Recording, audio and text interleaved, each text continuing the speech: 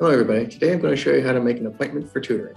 Simply go to the Learning Commons page and click on the Schedule Tutoring button. This will take you to our tutoring information page. There is a bunch of useful information here, but today we are focusing on setting up appointments, so we'll stick to doing that. Now click on the button for what kind of tutoring you need, math, science, or writing. Pick the course you want help with. I'm going to choose algebra for an example because who doesn't need help with algebra? Once you pick your course, you will notice the hours and dates available will change. You can leave the tutor selection on anyone, or if you have a favorite tutor, you can select them from the drop-down list. If you pick a specific tutor, you will see the days and times change again to match their availability. Now you can pick the day you want to schedule. Again, you will see the hours change to what appointments are available on that day. Pick the time slot you want from the schedule.